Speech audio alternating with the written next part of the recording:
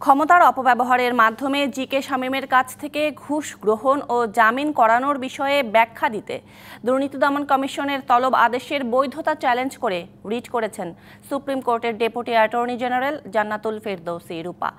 তাকে হয়রানি করা হচ্ছে বলে অভিযোগ করা হয়। দুদকের আইনজীবী বলছেন, আইনিভাবেই রিটের মোকাবিলা করবে দুদক।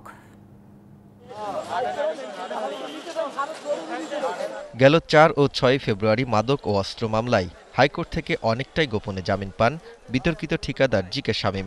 জামিনের বিষয়টি প্রথমে গোপন থাকায় তা গণমাধ্যমে উঠে আসেনি। এক মাস পর জানাজানি হলে তা আলোচনা সৃষ্টি হয়। আটই মার্চ আবার রিকল করে জামিন প্রত্যাহার করে হাইকোর্ট।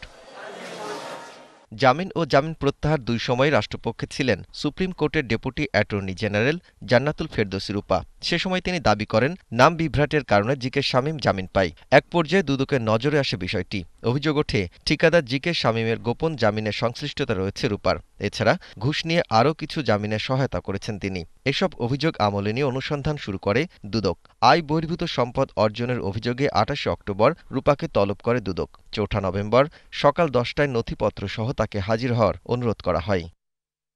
তবে তিন দিন বাকি থাকতেই হয়রানির অভিযোগে রিট করলেন রূপা। নোটিশের কার্যক্রম স্থগিত চেয়ে রুল জারির আর্জিও জানান। দুদকের আইনজীবী বলছেন আইনিভাবে মোকাবেলা করবেন তারা। উনি ওনার গ্রিভান্স কি সেটা যখন কোর্টে বলবে তখন বুঝব।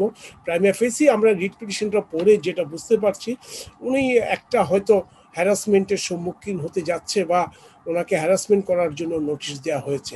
কিন্তু দুর্নীতি দমন কমিশনের নোটিশে শুধু একটা জিনিস মানে পরিষ্কার করে বলা হয়েছে কিছু এলিগেশন আছে অভিযোগ আছে সে বিষয়ে ওনার বক্তব্য গ্রহণ ও শ্রবণ। দুদকের আইনজীবী আরও জানান অনুসন্ধানের সময় দুদক মনে করলে যে কাউকেই জিজ্ঞাসাবাদ করতে পারে। দুদক মনে করেছে ওনাকে শুনানির জন্য এখন ওনার বক্তব্য গ্রহণের জন্য ডাকা হয়েছে। একদম ইনিশিয়াল স্টেজে তো এটা কোনো কনক্লুশন আসা যাবে না। ওনার বক্তব্য গ্রহণ শ্রবণ করে দুদকের কাছে যে তথ্য উপাত্ত আছে সেটা দুদক মিলিয়ে দেখবে। রিটের বিষয়ে জানাতুল ফেরদৌসি রোপার কোনো বক্তব্য পাওয়া যায়নি। Daud Khan DBC news Dhaka.